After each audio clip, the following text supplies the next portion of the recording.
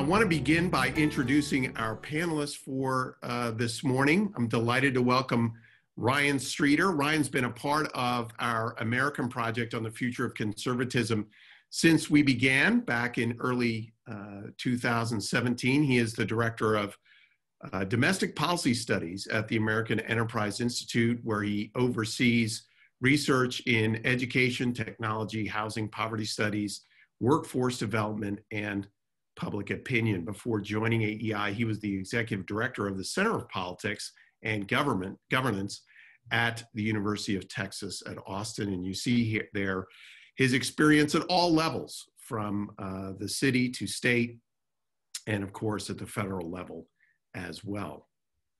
Holly Kuzmich is the executive director of the George W. Bush Institute, where uh, she oversees work on education reform, military service, economic growth, human freedom and democracy, global health, and women's empowerment. Kuzmich also oversees the Presidential Leadership Scholars Program, which is a, a, unique leadership development program in collaboration with the Clinton Foundation, George H.W. Bush Foundation, and the LBJ Foundation as well. Um, Holly brings more than 20 years of public policy experience serving in positions uh, across the sectors in government, uh, the private sectors, and the nonprofit sectors.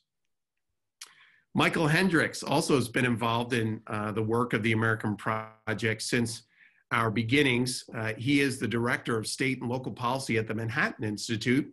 Uh, previously, Michael was the senior director of research and emerging issues at the United States Chamber of Commerce. Uh, Michael is a frequent public speaker and writer um, of opinion and research pieces in uh, places like the National Review, City Journal, and National Affairs.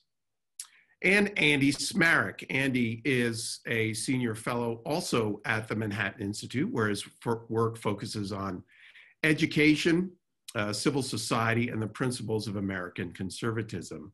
Uh, he was recently confirmed by the Maryland State Senate earlier this year for a term on the Maryland Higher Education Commission. Previously, Smarick was a Senior Fellow and Director of the Program on Civil Society Education and Work at the R Street Institute, uh, also based in Washington, D.C., as well as a uh, Morgridge Fellow at the American Enterprise Institute.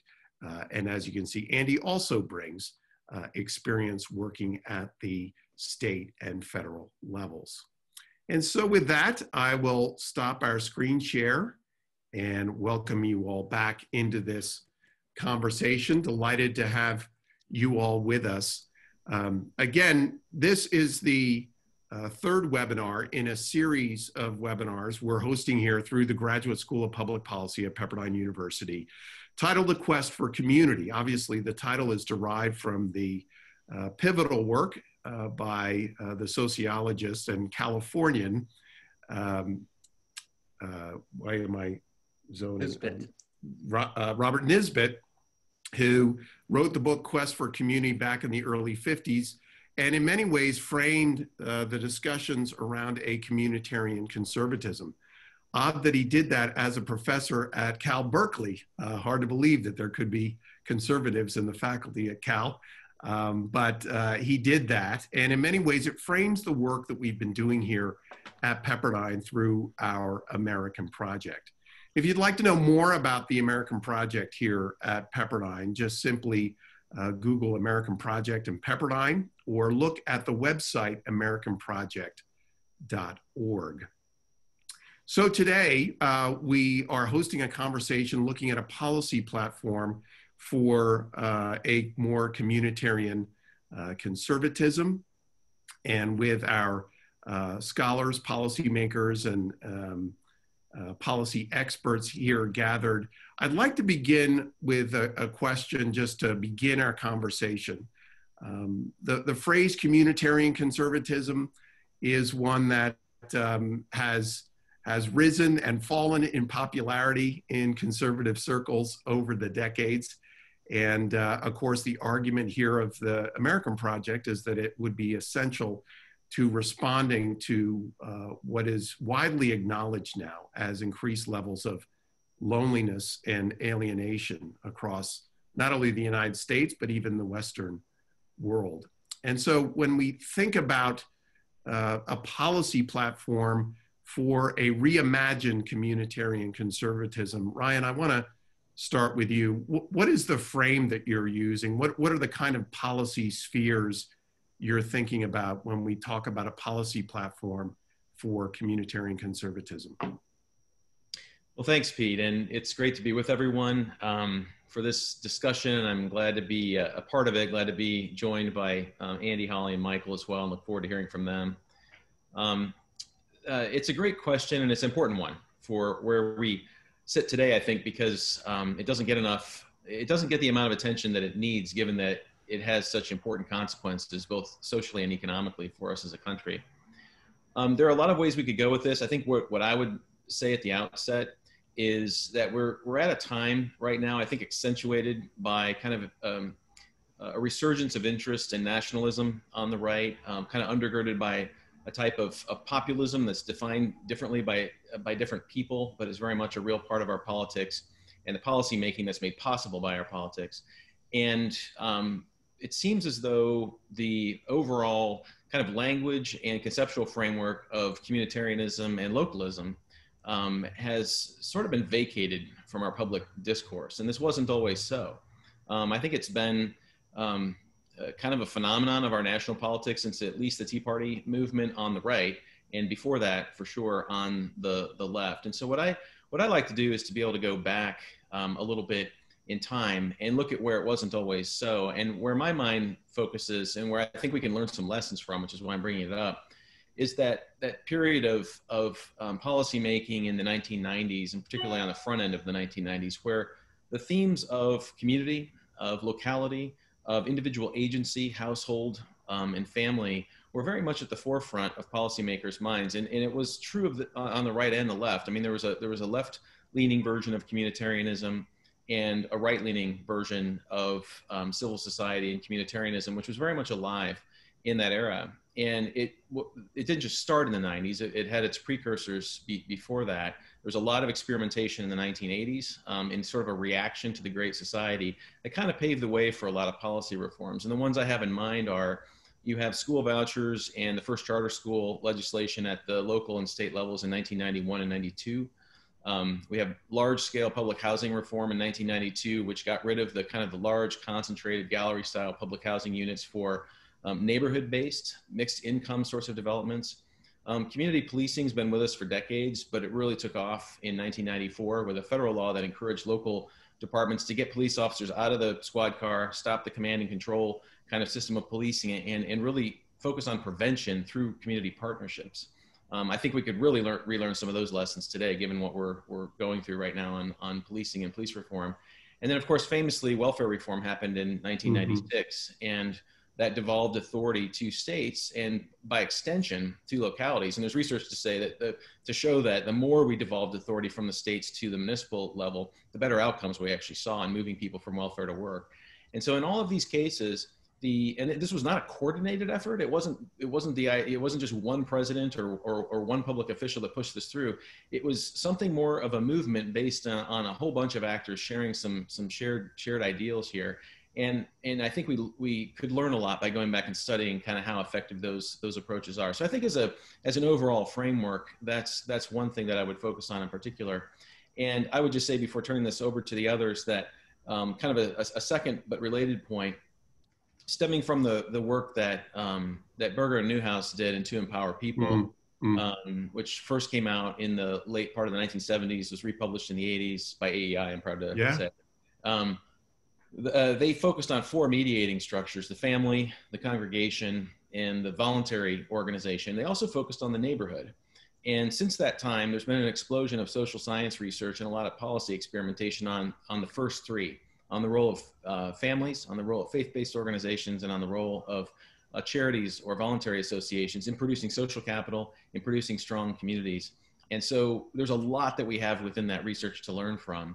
Um, what some colleagues and I are finding is that the fourth mediating structure, which hasn't gotten as much attention, the actual neighborhood itself, also produces positive civil society uh, outcomes when Mm. neighborhoods are designed well, when people live close to the things they care about, school, church, the store, the park, the things, the things that bring them together.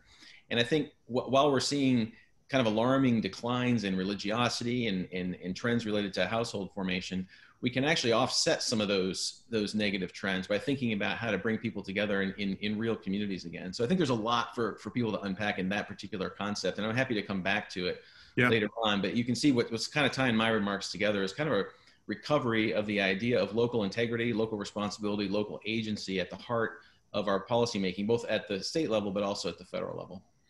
No, that's very good, Ryan. And I, I would just say, and I know this is going to be also one of our themes here for uh, today's conversation, is the tie-in between the federal government and uh, and a more local, uh, community-based approach to policy. And in some ways, uh, there's been a crowding out. Uh, in other ways, the federal government does have a role, and it may just be stepping back. Back, but as you point out, in areas certainly like uh, policing and public safety, uh, education certainly could be another.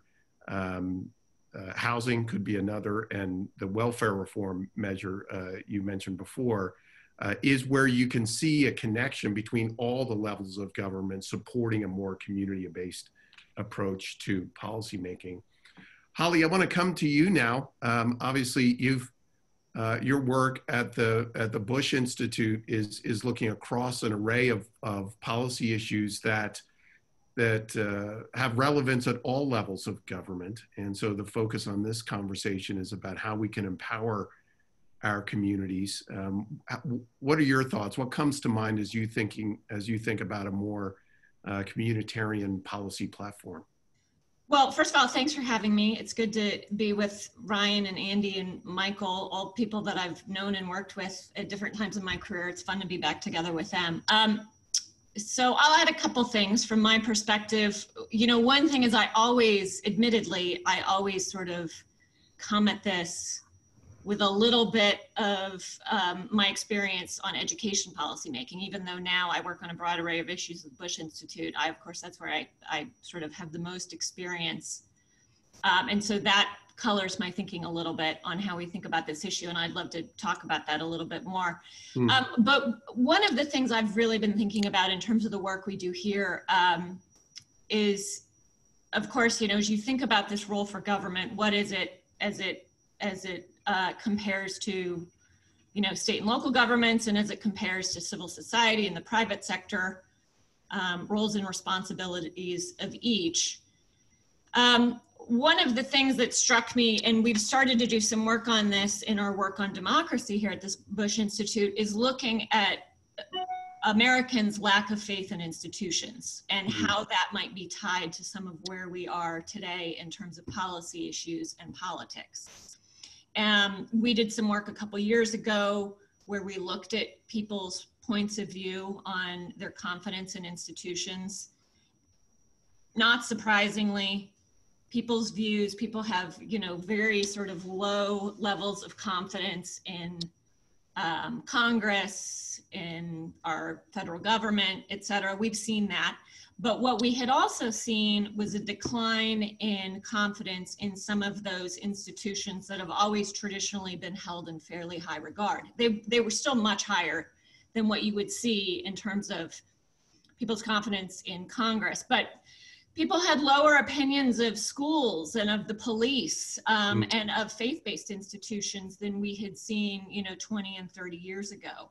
And when we dove into those results, you also saw a real divide when you looked at white versus non-white populations, higher income versus lower income. If you were not white and if you were lower income, you have even lower faith and confidence in these institutions. And I've been thinking about that and and thinking about um, what sort of those those that low trust leads to. And of course, I do think there's some connection there to um, you know, kind of the populist movement that we've seen on both sides of the aisle.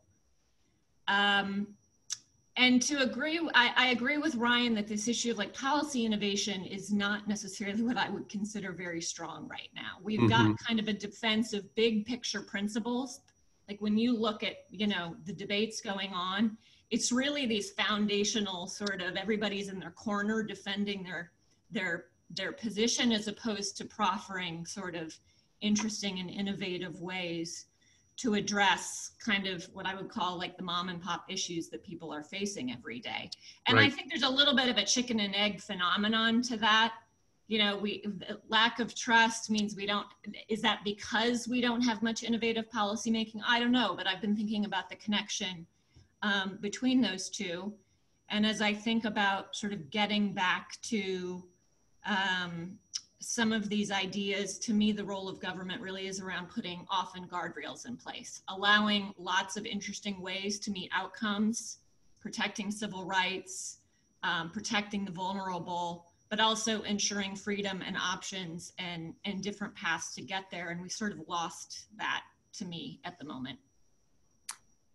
Andy, I want to come to you and thank you, Holly. Um, what is, uh, and you've also done quite a bit of work in education policy, as I noted in your introduction, um, but you've also studied quite a bit the work of civil society and what are the conditions, policy and otherwise, by which uh, civil society can can flourish in communities. Uh, how do you frame a discussion around a, a policy platform for a reimagined communitarian conservatism? Well, let me begin first by also saying how grateful I am to you and to the other panelists. I feel blessed that I've had a chance to work with all of you in the past. Um, so I'm very grateful. So the way I start is just with this basic question Should policy support civil society? Um, and my answer is yes we know humans want to associate in small groups and that Americans have a special knack for it. Mm. I hmm. mean, and this is, isn't just like, you know, Aristotle noticing that we're social political animals. Tocqueville noticed that Americans seem to come together just to solve problems organically. He said our towns seem to constitute themselves. I mean, it goes back to Burke talking about our natural small community platoons. Um, even Hayek wrote about how free people spontaneously gather. Um, and one of my favorite references is like the original understanding of social justice from Catholic social teaching is rooted in small groups bound together organically um, with duties and authorities related to the common good. So I start this by saying communitarianism seems to be in our bones. So what is thwarting it? Mm. And I think, thanks to Nisbet and some other things I've read, a big part of the answer is that the government um, through action can weaken mediating bodies. And similarly, government action too often or too seldom is used to strengthen these mediating bodies. So if you go back to Nisbet, he's really clear after articulating all these other reasons why community has been lost, that ultimately it's the political state that can cause the loss of community and some of this is purposeful. We know revolutionaries try to cripple dissent, um, abolish mediating institutions. We see this in the French Revolution, communist regimes, and things since then. We know that statists often want to do away with voluntary associations so power can run through the state. But there's something much more benign. Often government leaders don't intend to undermine communitarianism. Often they just believe that state action is more efficient than this hodgepodge of voluntary groups Mm. Um, I, I, take my lead often from James Scott Seeing Like a State, and he argues that you know the complexity and seeming incoherence of groups and customs stand in the way of technocrats who just aim to bring about order and legibility in some policy domain. Um, and we got to be frank that some leaders just think that old school community groups are backward in their views of morality and faith and, and so forth. Mm. So what's really started to motivate me over the past couple years is this like fundamental idea in the Declaration of Independence governments are instituted to protect liberty. And I believe that civil society is indispensable to American liberty. Um, if we're going to be free, we can't only have individuals and Uncle Sam. We have to have something in between. And so, therefore, we got to get uh, the government involved in protecting these bodies. So, very quickly, let me just give you the three categories that I think about mm-hmm. what, what an agenda should look like. And the first is legal. Um, we need the courts to revive federalism. The 10th Amendment means something, enumerated powers mean something. Uh, when the 10th Amendment delegates powers to the people, uh, that includes citizens and their voluntary associations. We've also seen recent scholarship on the right of assembly under the First Amendment. So we need courts and legislatures to protect the right of very different people um, to form and participate in very different groups in very different uh, for very different purposes. Mm-hmm. There's also an angle here on what's called group rights that I think should be explored. So my first of three points is just simply I believe in a communitarian uh, legal strategy that we probably have ignored for too long. The second mm. is, is just policy. Uh, we need to push power down and out, out of Washington into communities, out of government into nonprofit organizations. We can use policy to energize civil society. I typically think that grant programs can um, do too much to get uh, nonprofits as like arms of the state. So I'm much more interested in things like uh, uh, efforts to do tax credit programs or social impact bonds or opportunity zones, anything that enables autonomous non-governmental bodies to really take the lead. So my point here is there are policy mechanisms that are more likely to enable diversity, pluralism, localism than other types of mechanisms. And then my last point is something probably near and dear to your heart, which is um, human capital development. I just think we need a new generation of public servants who think in terms of civil society and subsidiarity. Mm-hmm. I've had mm-hmm. 7 mm-hmm. government jobs now, and I honestly struggle to name the times when a government leader has said, Stop. How will this proposal affect yeah. the mediating bodies of society? Um, government yeah. leaders typically think in terms of how do I get the state to accomplish this goal? And let me put a fine point on this. In my public policy graduate program, we read zero Hayek, Burke, Tocqueville, Nisbet, Berger Neuhaus. We were trained to think as technocrats managing the state through government action. I just think we need policy people thinking, and I'm using Hayek's language here, like gardeners, creating the conditions through which the voluntary sector can get things done. Um, the way I always end this is saying policy can help civil society, but we need policymakers who actually care about civil society.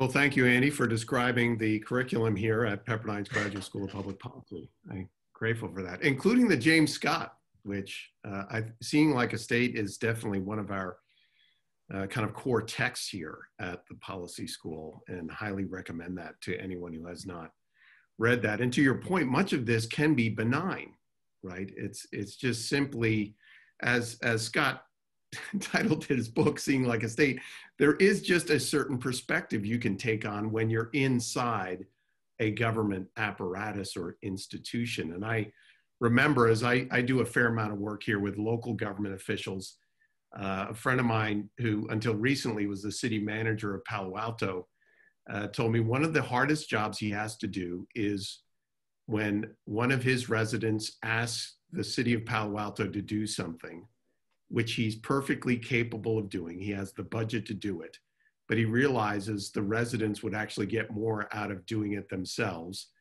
to say no.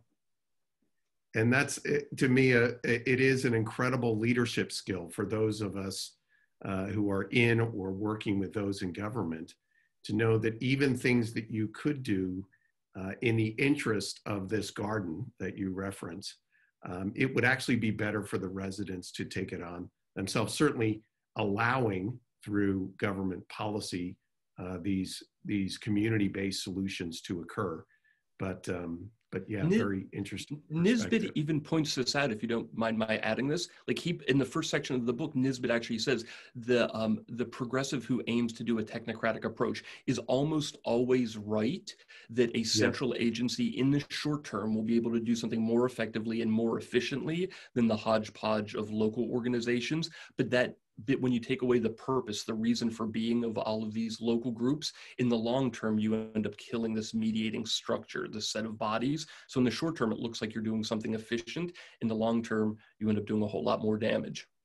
You know, that's, and I'm going to come to Michael here, but it, it, as you say that, Andy, it strikes me, we had a webinar here that I hosted with Rick Cole, who for uh, many years was the city manager um, in Santa Monica and recently resigned uh, over um, essentially an argument about the city budget just in the last couple months. And his argument is where cities are going, uh, which is going to be where, where obviously states are going as well, is that these aren't going to be the capacity for states and local governments to perform services at the levels they had is just not going to be possible. Um, and so, in that, finding these new kinds of what could be called cross sector, what could be called community based solutions, um, where it's not just the government performing it, it is a a partnership between civil society uh, and, and to Ryan's point, down to the neighborhood and the private sector as well, are not just going to be nice Tocquevillian kind of uh, dreams, they're just going to be essential and necessary to the performance of public services. Michael, I want to come to you now, and you're obviously based in, in New York, and uh, if there is a city that has uh, is continuing to weather storms there around how it uh, both understands itself and delivers uh, community-based public services, it is it is uh, my birthplace, um, New York City. Tell us a little bit about how you're seeing and defining a, a reimagined uh, communitarian conservatism uh, in, in policy? Sure. Well, when I think about policy arenas that first come to mind with communitarian conservatism, um, I, I, really have to get concrete and uh, actually concrete and timber uh, with housing. And, and, and notice how housing uh, and, and, and tackling the onerous and often useless regulatory regimes preventing housing from getting built and communities from flourishing, even when there's demand, represent a real challenge to the vision that we're articulating here and discussing today. Um, these zoning rules and permitting regimes dictate what you can build where and who can live in them. And it results in a whole mess of issues. So, you know, they, they raise prices and construction costs far beyond what they otherwise could be. And that results in a growing housing shortage affecting millions now and, mm. and hmm. ultimately harming a desire for community. It's like communities all across this country are flunking both Nisbet and Hayek at the same time. Second, uh, it changes what places uh, look like, primarily shifting them away from a more uh, traditional, incremental, natural pattern of development. So we get more cul-de-sacs and fewer main streets. Um, they define the size and shape of cities, who can live in them. Uh, cities like San Francisco end up building a wall of unaffordability around them and then relentlessly segregate by uh, wealth and even race. Uh, we also get slower economic growth and less opportunity, yes, which maybe someone traditionally on the right would point out, but also wealth and generational inequalities that are hard to avoid. Um, so the net result ended up being zero sum cities, this kind of, I don't know, Lord of the Sun, Lord of the Flies scenario that I think undermines the hierarchy and community and authority and tradition that communitarian conservatives, I think, rightfully celebrate. And then they also set up a contest between outsiders and insiders, uh, owners and renters, wealthy and poor, young and old. Mm-hmm. All, all, of that to say that today's policies on housing are incredibly destructive to the places that we celebrate as communitarian conservatism, as communitarian conservatives, and a true threat to a true conservatism of connection which I know the Pepperdine American Project celebrates mm-hmm. and is all about. And, and then, interestingly enough, just uh, from a practical standpoint, they represent an interesting alignment between uh, market conservatism that's dominated on the right for years and a cross partisan arena of agreement with progressives who, and, and those on the left who have been predominantly running cities for the past handful of years and even decades because they see many of the same problems and even talk about some of the same solutions when it comes to housing. So, so I think when it comes to communitarian conservatism, I think of housing first mm. as a mm. concrete mm. application. It's a natural outgrowth of policies that uh, that think in terms of localism, as Ryan pointed out in the 1990s. Um, tack, tackling housing also uh, leans into and presupposes with a real responsibility in our American project lies first at the street level then at the neighborhood then pointing to our mayors and councils and all those other things that just emanate outward in a in concentric circles of mutual responsibility. Um, you know that that's where land use decisions are made for for good or bad and it's where we should first look for a better way out. There's even interesting ideas out there to make decisions to upzone and allow more housing, even at the street or block level, that we should take seriously.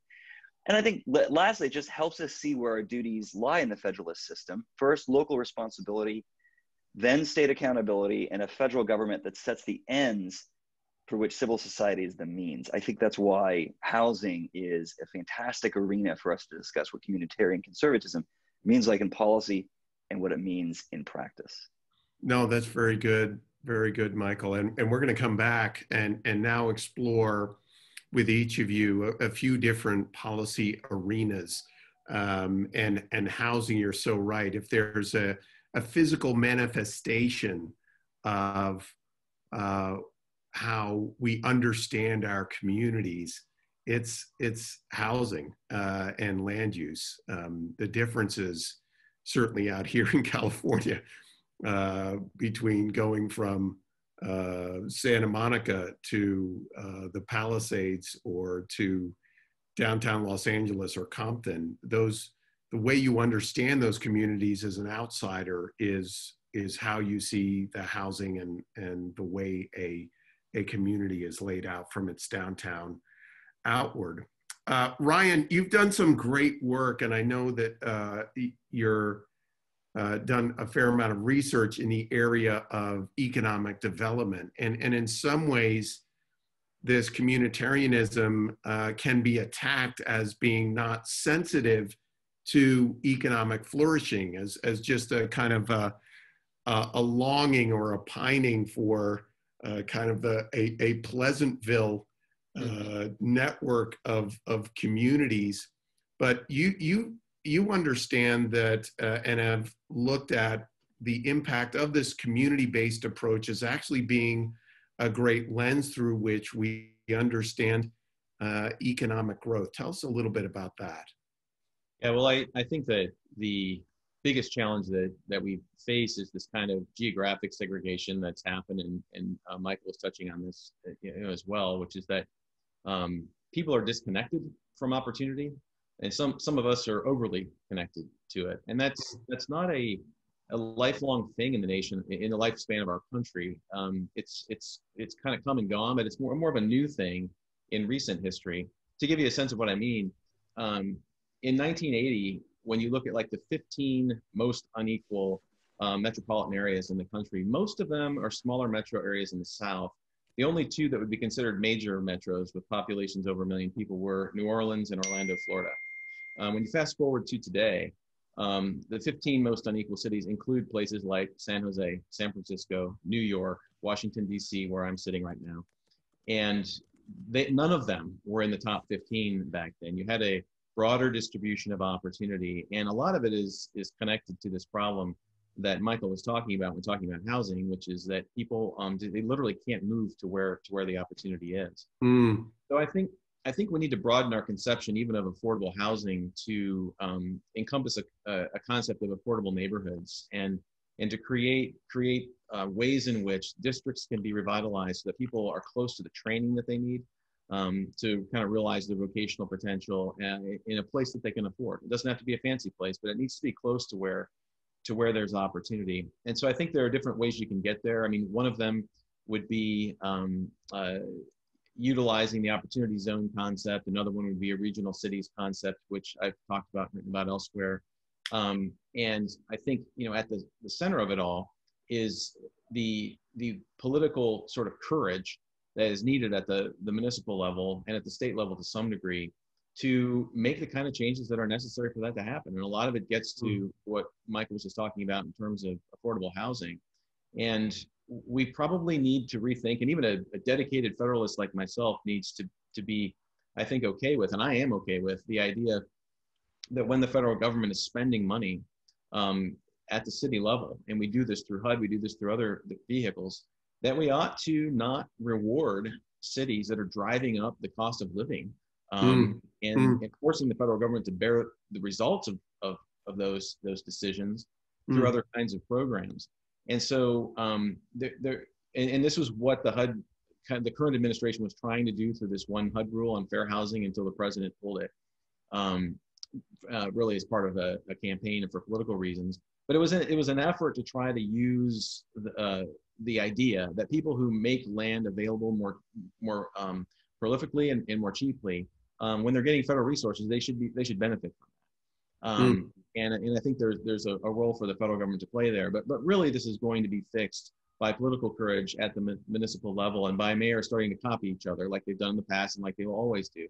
Um, we've seen some recent gains in San Diego recently um, yep. through the mayor Kevin Faulconer. They're introducing some new types of uh, changes to the code that would make it easier to say convert a, a single family one acre lot into four units, um, making it easier take that detached garage and turn it into mother-in-law quarters. These sorts of things that would make it possible for neighborhoods to kind of bounce back. But neighborhoods are central. Uh, they people need to be able to live in a place not that's not just a, a place from which they commute to work, but a place where they can can raise their kids, where they can engage with their neighbors, where they can can can be involved. And this is this is a this is a notion rooted in this this kind of enduring concept of, of human scale that we just flourish when we live close to and proximately to the things that make life worth living. Um, our houses of worship, our schools, the, the parks where our kids play and where we meet our friends. And we've documented this matters, but this is not a new concept. Uh, The idea that, that community should be scaled is a very old one, and actually used to be a, a, fundamental concept within a lot of political philosophy in our in our tradition. I mean, you know, Plato actually said the ideal. He had a number for the number of citizens that should be in a community. It was 500, 5,040. Uh, scholars have never been able to figure out why not 5,030 or 5,050.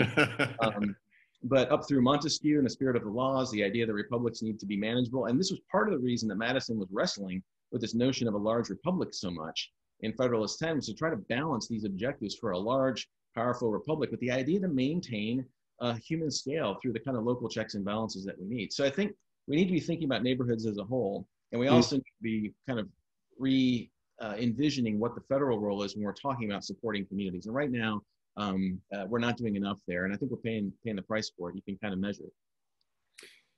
Before I go to you, Holly, uh, Ryan, I just want to come back. Can you be, uh, say again that that rule that came out of HUD that the it looked like it was moving forward and then it got pulled back? Explain that a little bit more.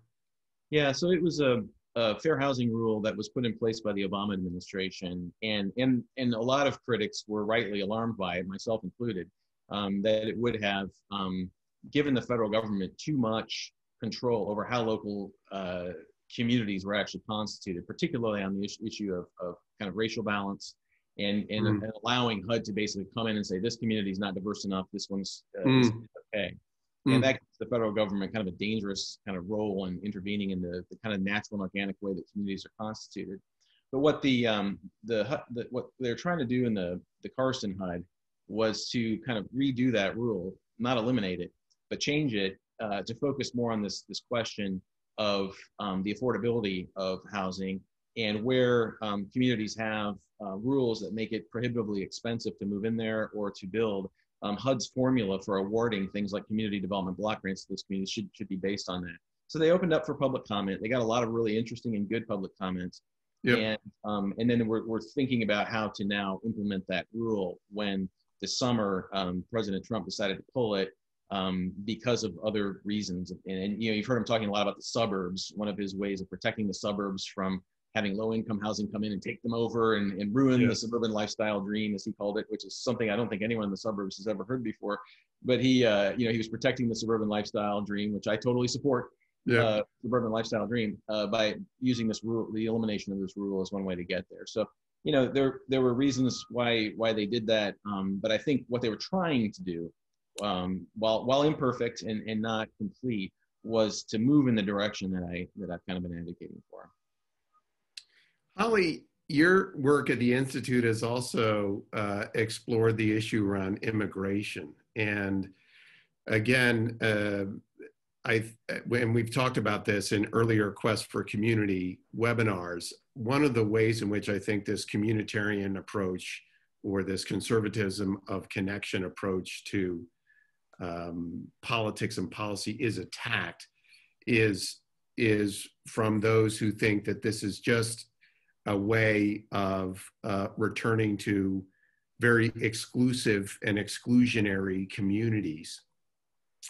And I thought what was interesting in our prep call for this is um, your, your work around immigration and the fact that assimilation can often happen at the community level before it's taken on on a more broad-based national level. Obviously, we live in communities. We, we live in a country too, but, but we live in our communities.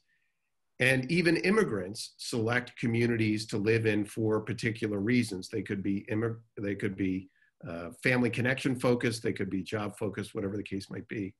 But tell us a little bit about how this uh, communitarian conservatism can actually uh, reinforce or support um, more uh, larger immigrant immigrant populations within communities. Yeah. Well, number one, let me just say this. I think about the the debate on immigration right now, which is to me kind of the the wrong way to look at it. It's it's mm. very polarizing um, sides to this, which is either kind of looking at legal and immigrate legal and illegal immigration is either all good or all bad. Mm. Um, at, with no sort of room in the middle to talk about how do we ensure a healthy legal immigration system while also addressing the factors of illegal immigration and figuring out we still have this you know massive problem about what to do with the 11 million people who have been here for a very long time now but did not come through legal channels um, so just in terms of the debate, I think there we've we've got to we've got to actually parse that out a little bit. And unfortunately, we're talking at the margins where it's either you know all of it's good or we've got to really kind of crack down on it whether people are coming legally or not through legal channels. But right. to your point, I mean civil society has a really important role to play, even though immigration policy is largely, of course, set by the federal government. Um, there are so many groups who take it upon themselves to really work with the immigrant community mm. and, you know, assimilate them into communities across the country. And you mentioned that you know most immigrants choose where to go that's true some of them don't i mean refugees mm-hmm. are the mm-hmm. perfect example where mm-hmm. they're you know they usually are go through an agency and sort of land in a city where they might not otherwise have been and that's where you see civil society sort of really stepping up to the plate and i think breaking down some of those barriers that people sometimes have where they think that immigrants to this country are not necessarily you know interested in assimilating mm. um, i also just go back to looking at you know, we've hosted naturalization ceremonies here at the Bush Institute. And one of the things that always amazes me when that happens is listening to them take the oath and how, I mean, as, you know, as an American, it, they have to renounce everything regarding um, their home country. They have to promise to serve in the military if called. I mean, it's a pretty sort of like affirmative you know, I am an American and I am renouncing everything about where I came from. And so, mm. even just that always strikes me as we really put it upon immigrants who are becoming naturalized citizens to our country that it is important for them to become part of the fabric of American life. Very good. Yes, that and and of course that connection, I would argue, uh, happens most easily and understandably um, at that local level, right? It, it's then yeah. through the and it happens so much too through our schools, right? Yeah. I mean, you know, we our schools all across this country serve those populations, and that's that's so significantly, especially how how you know. And of course, religious institutions as well. I mean, you you mentioned before the the broader civil society can actually play a greater role in this community-based assimilation. Right. Than governing institutions can. Right. I mean, government can set the rules of, of yeah. our immigration system, but it is really up to civil society to think about how to support immigrants and assimilate them. Andy, I want to come back to you um, as we think about how we understand the communities in which we live.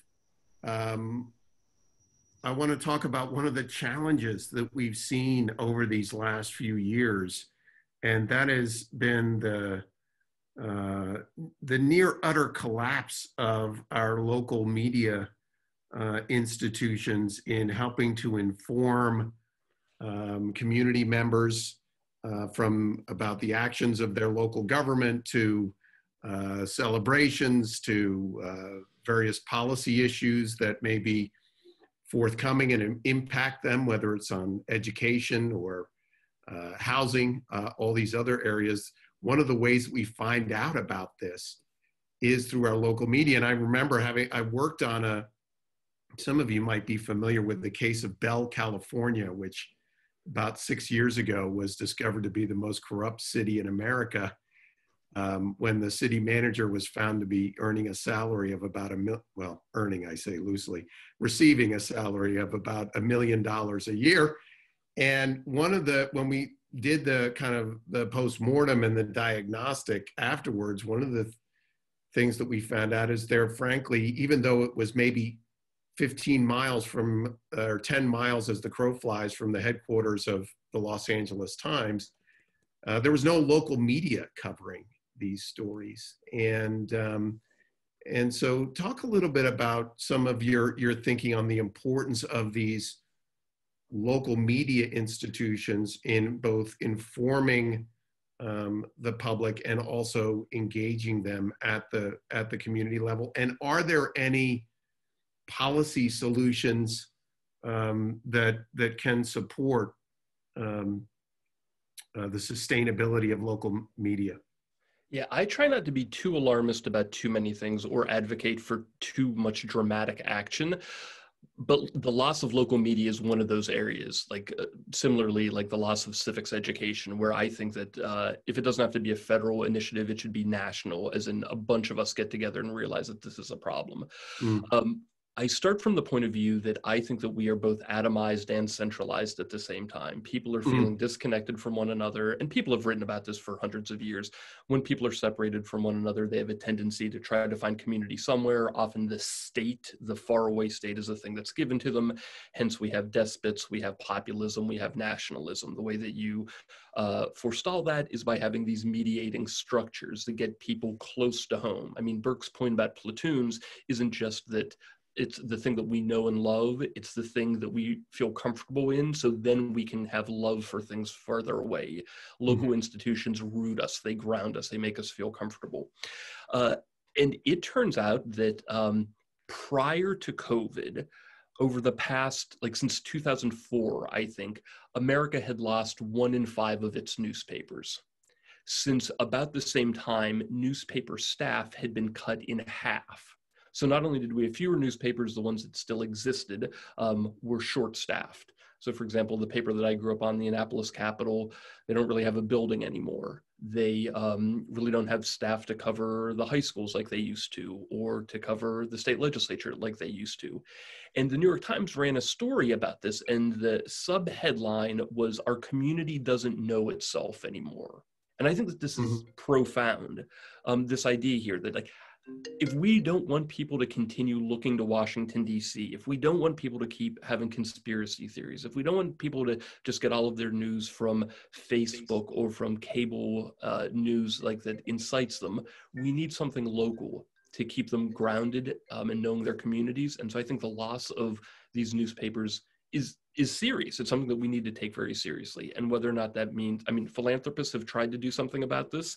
Um, mixed results so far. I don't know if there's a tax credit program to do something, but if I want to be involved in my community right now where I live, I have a hard time knowing what the county council is doing. I have a hard time knowing what the school board is doing. I have a hard time mm-hmm. knowing who the superstar student at the high school is.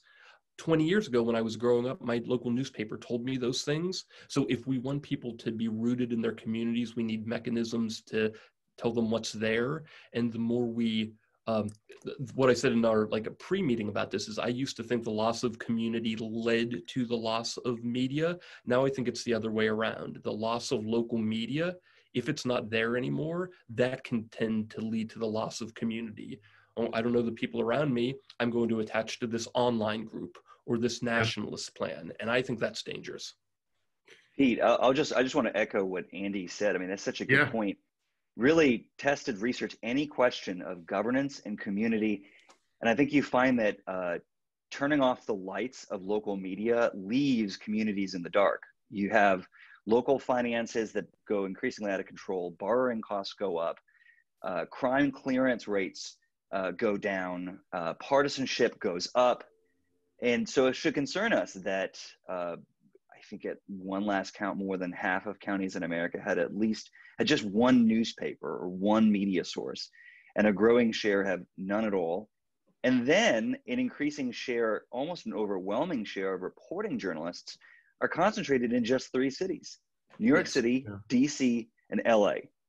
And I think that that is incredibly destructive. It also shows what is so important about our conversation today.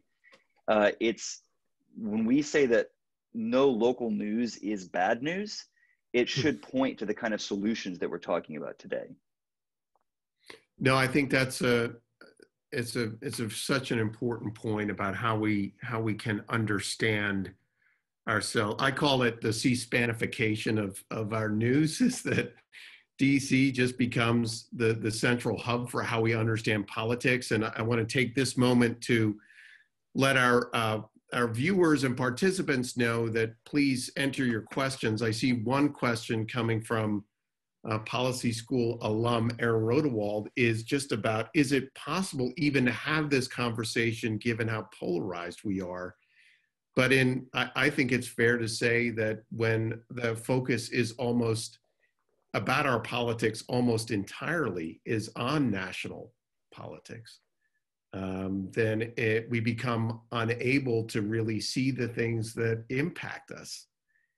And uh, I, I know I tell this story often. I don't think I've told it in one of these these webinars, but um, I, until recently, and when I moved on to campus here in Malibu, I was one of uh, five Republicans who, who lived in the People's Republic of Santa Monica, and and there were a whole array of issues I know with my neighbors we were never going to agree on at the top of a, any sort of, say, presidential or congressional uh, voting ballot. But when it got more local, whether it was uh, schools or land use planning, the types of things that we're talking about, all of a sudden it became, there was a lot more overlap in the things that we cared about. And frankly, the reasons why we loved the place in which we lived. Um, you know, and I didn't think about it until just this moment. Um, it's a lot easier to love the place and where we where we live than it is to love, frankly, our country. And I hope that came out right. I mean, I love our country, but in this era, there's so much fracturing and polarization and argument going on about who we are as Americans um, but when you get to a more local level and participate in more local institutions, the ability to say why you love that place, um, I think is an essential beginning point to discuss places where reform needs to happen. Right? I don't, I don't think, and this is again a lot of my work at the local level, the person who parachutes in from outside as the activist and says, you all need to change this issue on affordable housing or public safety or whatever is not going to have near the resonance as someone who has been there or at least says, I love this place, but we still need to change in this way. Um, and it starts with a love of that place, which I think is so important um, to our politics um, but also uh, to our policy making. This is so, the heart of civic virtue. I mean, this yeah. goes back thousands of years, which is we now have a tendency to think of public services as the way that the servant can shape the public, but there's this much more ancient Republican tradition, smaller Republican tradition, that public service is meant to shape the public servant, him or herself. That by virtue of doing things locally, like today we would talk about seeing the person we disagreed with at the local soccer game or at the grocery store. Yeah, uh, we're in, we're engaged with one another not like as avatars, not as someone who we just see on TV, but the person who goes to church with us or that we are volunteering with or we're, we see at the parade. And it's a whole lot harder to detest someone that, that is up close. I mean, is it Lincoln or Will Rogers, this idea of, um, I don't like that man, I need to get to know him better? Yeah. Um, you, you don't have that impulse when everything is far away, but civic virtue tells us to serve and to serve locally, and that makes us better citizens, and it makes us better to one another, and enables us to help our communities. Uh, if I could inject something in today's public service, it's that don't go to Washington, D.C., serve your community. It will make you a better person, will make your community stronger. There's Yeah, also this I- point they that do. as we have this growing belief that the rights agenda for the past handful of generations hasn't lived up to its promise, one result of that has been a search for a kind of new nationalism. And there's many different brands of nationalism. Some are rooted in great national projects, others in forms of patriotism, but there's also a form of nationalism grounded in local roots, grounded in Yeah. localism. And that is a way in which we can have love for our country, to your point, Pete. And I think we too often forget that. I think it's worth pointing out too that we are um, really derive a lot of our identity from the communities in which we live too. I mean, we we find this Mm.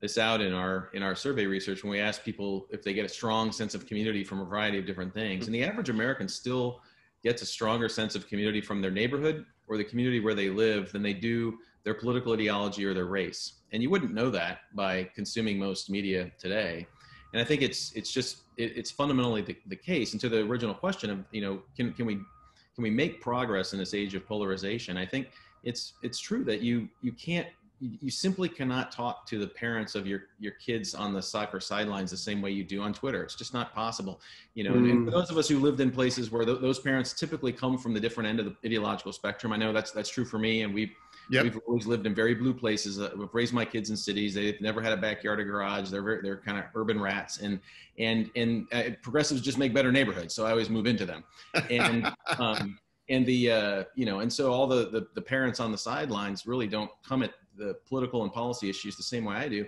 And I've always been able to have conversations with with people that are that are productive. At the end of the day, if you're worried about the new math curriculum the school just implemented and whether or not it's the right thing for your kids and are you going to show up at the community meeting this week you're all going to go do that together and so i think it really does argue for uh, the need to kind of rethink our policy responses to some problems that force people into that situation more so that civic virtue becomes like andy's talking about it a real thing that is required or at least the opportunity to exercise it is there because you can't exercise civic virtue in the abstract um, Yeah. You can just show up at a protest and be civically virtuous. These people running around DC in these neighborhoods close to where I live, forcing people to adopt an ideological stance in, in response to the protests, are are they're not practicing civic virtue. They're not. They're going to leave that that that moment of intimidation where nothing's changed and the situation of the community is not any different than before they got there. It might even be a little worse.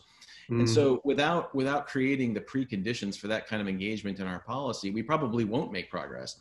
But but optimistically, I think we can make progress if we realize that when you do actually put people in those situations, they rise to the occasion. That's why early on I mentioned, I mean, welfare reform, we saw that, community policing, we saw, we saw that. We created the incentives for people to take responsibility for solving problems close to their home. And guess what? They actually did it. Yeah. No, those are all really good points, Ryan. And and I wanted to come to you, Holly. We had another question um, from another one of our alums here at the Policy School, uh, State Senator Hans Zeiger from Washington State, um, thinking about uh, who is it at the national level who is uh, promoting and, and um, highlighting these themes. We did an event through this American project last year uh, in collaboration with Senator Mike Lee's office, um, who's taken up leadership of the Joint Economic Committee and essentially transformed what was kind of a very technocratic um, uh, institutional body into one that is looking at issues of, of loneliness and community and how we support that. Um, wh- what are your thoughts on uh, it, the role that the federal government or even places like uh, uh, Senator Lee and uh, Ben Sasse that are arguing for uh, this more communitarian conservatism. Who, who, are the folks out there you think we should know about? Yeah, well, I think you, you mentioned you just mentioned Ben Sasse, who I would have put on the list, who I think is very strong in this. But it's an uphill battle for him. He's one of you know a very few kind of talking about this. I'd put somebody like Tim Scott on the list too, who. Mm. Um, your thoughts on on the it just triggers a thought about the opportunity zones. It's something that ryan had uh, mentioned before. Uh, is, is that an example a, a, glimmer of hope there again in how the federal government can incentivize this more community-based approach to uh, policy? i think generally I, I you know i'm an advocate for them in in terms of seeing what can be done with a with a policy lever like that Um, I just, can I make one other point that's related Yeah. to the conversation we were having about sort of, you know, on the ground, local politics and neighborhoods and discussions and this issue of housing. One of the things that I think is, you know, Pete, to your point, when you get down to the local level, I think some of those partisan divides go away and you find yourself either aligned or not not based on party, but based on a whole host of just kind of things that matter to you personally. But I look at things like housing issues, and Ryan, you mentioned, you know, some of the things in San Francisco, like, but you know, we need to move in in some neighborhoods from single family housing into more multi-unit housing. Like we just have to think creatively about things like that. But one of the things that that's a challenge at the local level, I think, is that you often then get individuals who say, you know, not in my neighborhood, right? And Mhm. so, how do you balance that um, that communitarian approach where um, people might theoretically understand where we need to go on some policy issues, but they're not necessarily, you know, an advocate of it personally. And you have to figure out at, as local elected officials and leaders how to navigate those conversations um, we we see it in education all the time where you know parents love their neighborhood schools. That's natural. Yep. um, but but they sometimes are not you know doing all they can for all kids. And so how you navigate those conversations and i've learned a lot of lessons over 20 years of doing education policy that that's those are tough things to do from a public policy perspective because people love their schools but yet they need to improve and how you think about navigating that at the local level is challenging and if you try and do it too much from the state and federal level as i have some you know um, uh, wounds from it can be really Well, and I'll, I'll just interject there. Um, and I, I want to come to you, Andy, next. Again, continuing to encourage our participants. We got some great questions coming in. Um, you know, we are at least in housing policy. I think California is is a basket case, really. I mean, we we essentially are uh, an adventure in doing all the wrong things. Uh, recent estimates show that we are uh, at least um, several million units short. And one of the things, again, uh, uh, that I talk about because we do a, a fair amount of consulting with local governments who want to grow their housing supply um, in response to many of the issues that both Ryan and, and Michael have talked about is, is to make the argument not about the issue. If you start with a discussion that says we need 3,000 or 3 million more units of housing here, that is absolutely the wrong way to go. If you say, do you want your kids to be able to buy a house and live here in this community? All of a sudden, you are having a completely different conversation. I remember an event we hosted around housing policy up in Salinas, California. Uh, uh, the home of uh, John Steinbeck on the central coast of California. And we did this public engagement process and it was around housing. It had a lot of technical jargon in it, but not too much. And at the end, of, I remember a resident standing up and saying, you know, I'm, I'm glad I learned so much about the budget and about housing policy and what's going on here and where I live. But I have to say, I don't really care what the council or the planning commission does. I just want a community that my daughter can afford to live in after she graduates high school. And I've found that when you break it down to those very kind of personal needs as opposed to the technocratic, you know, how many units, you know, what, what is the building height and the setback and all the necessary parts of housing policy, uh, you're in a much different place. Because especially here in California, you can go into almost any coastal community and ask the 60 somethings what their biggest pain is about living in California. And it's that their kids don't live anywhere near them. And uh, so I think there is a way of framing some of these issues that, yes, NIMBYism is real and operative and determinative of a lot of local housing policy. But at the same time, I think if you flipped it and focused on a conversation about how do we grow in a way that's consistent with who we are as the city of Fresno or Hyattsville, Maryland, or whatever the case might, or uh, Plano, Texas, um, it's it becomes a much a much different conversation. And Michael, you talk about that a little bit in in thinking about housing uh, that that fits within particular communities and their own identity. Um, tell us a little bit about that. Yeah, and I, I think it's important to point out that when we just did a poll at the Manhattan Institute of New York City, a place where we have not seen housing growth anywhere near the kind of demand. In fact, we're building less housing over the past decade than we did during the Great Depression, amidst a time until the coronavirus of incredible economic growth.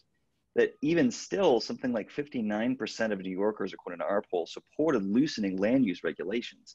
It's a question necessarily of who's speaking out on land use and housing, and it's a question of at what local level are decisions being made and are they mm-hmm. actually representative of communities or regions and actually representative of what people would want for their own family their own household their own kids or parents you know and I, I think that one thing that we've seen is an opportunity for incremental advancement uh, the opportunity for more missing middle housing to be developed missing middle would be duplexes triplexes the kind of accessory dwelling units and backyards they may not always get the big headline numbers.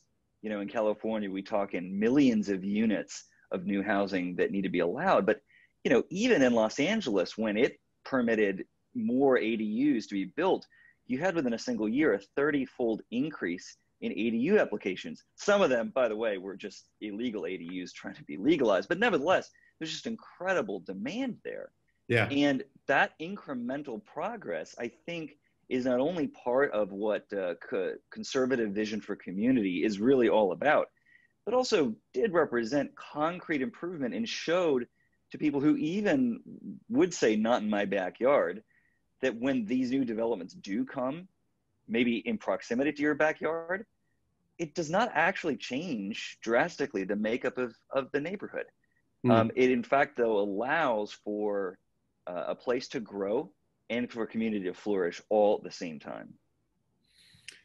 That's really good, uh, Michael. Um, and I just, as a time check, we're into our last uh, five minutes here, and I'm about to drop a, a 20 minute question, but um, but it's a good one, and I it comes from our friend uh, Avik Roy, who uh, has been a part of the work of the American Project since we got underway here back in in 2017. And it is dealing with the reality that there have been racist exclusionary policies, not only at the federal level or state level, but at the more community level.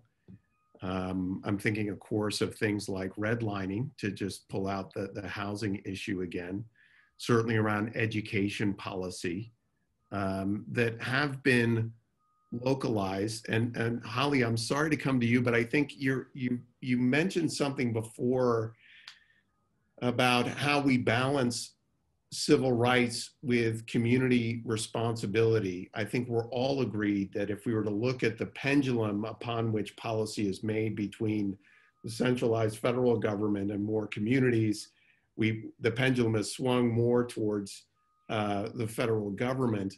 But on issues of civil rights and, and frankly, America's founding principles, uh, they have been squelched by, by community institutions. And so I wonder how you think about, uh, and whether it's uh, in the discussion around immigration or not, but, but how you think about uh, the importance of um, maintaining support for civil rights uh, in the American context and making sure that they are not uh, diminished by our own call here at the American Project for greater community policymaking.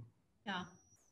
Well, I think, you know, I'm actually going to say that part of this just goes to good leadership overall. And when you mm. asked that question a little bit ago about like who are, who are the people we should know about, I mean, it's it's good local, state, and national leadership, in my view, who um, who really needs to keep an eye on that. Meaning that, like, if you look at, you know, I'm sitting in Dallas, Texas, where the city overall does pretty well on opportunity and growth, but we have a very segregated city. And redlining is a huge part of this, the history of Dallas. And we have a very, you know, segregated South Dallas with not much opportunity um, for people there. And so that is not something, you know, where we need the federal government to necessarily come in.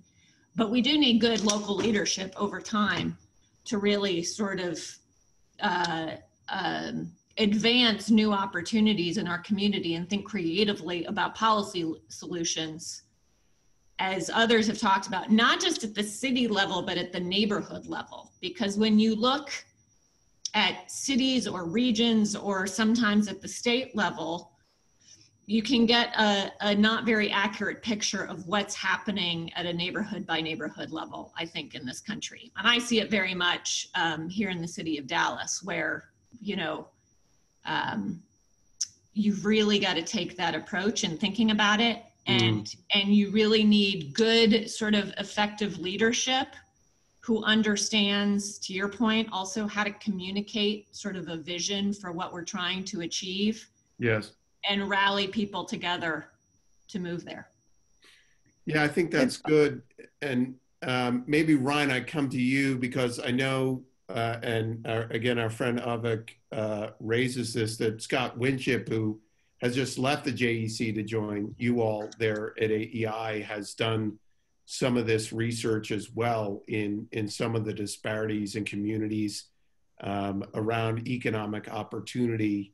Um, your your thoughts on how we how we balance just looking at the the economic opportunity um, and and how communities can overcome some of these these legacies yeah well and to Avik's very good question i mean it's it's seems quite evident that um, racial segregation in a lot of our cities our fastest growing cities has gotten worse um, and so have um, concentrations of poverty i mean you're uh, since 1980 i mean you're basically if you're poor you're three times more likely to be living in a neighborhood you know with poor people around you than, than previously or you're, you're going to be around a more concentrated set mm-hmm. and um, uh, people, uh, low income communities, low income households, people of color, you know, have been isolated from being able to move into places where there is vibrant opportunity.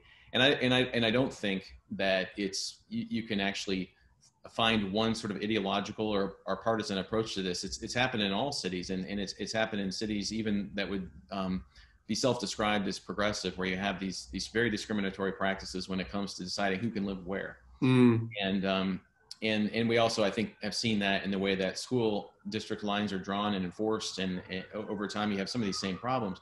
But I think the you know the challenge is to is really to not I, I have a hard time finding sort of a race-based strategy on this or something that that would would would be akin to like affirmative action. I think you have to double down and do some of the things that we were talking about, which is to make uh, housing more accessible and affordable to more people and then also have a very sort of family-based and individual-based approach to um, personal economic development. And so uh, making mm. it easier for people to move closer to where they need to get the certifications and the training and to allow them to finish uh, where they move to. And so that, that just means rethinking the way our workforce development system, for instance, provides support to people. It should be moving away from institutions to individuals and be helping them um, do life while they're while they're finishing their training and getting connected to the kind of employment that they need which right now it's too hard to use some of those resources for and so we hmm. continue to fund sort of inefficient um, institutions that really aren't getting the job done so i think that the we've learned a lot from the school reform movement in this i mean when when you give people the opportunity to to move and to have different opportunities and options in their community they often take you up on that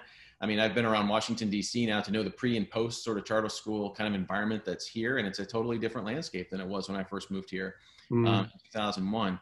So um, uh, when you give people the, the ability to actually move into better communities, communities where they want to be, um, and you provide resources in a way that allow them to do that, that's, that's usually the best way out of this conundrum, I think. I, Can I add just one quick thing to this? Sure. We're almost at the close, but go ahead, Andy. Yeah, I'll, I'll be fast, which is uh, this is a very real thing. And I think those of us on the right need to take this seriously that while we are recognizing the need for localism, I mean, Putnam pointed this out, and it's it's tough for a bunch of us to grapple with that um, diversity doesn't always automatically lead to people accepting one another as much and as quickly as we would want.